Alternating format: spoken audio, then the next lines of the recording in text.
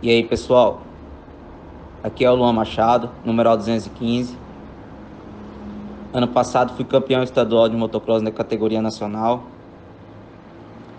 E esse final de semana será realizada a abertura do campeonato em Paraíso das Águas, onde estarei participando na categoria 230, que é, que é nova, não teve ano passado, e na Força Livre Nacional.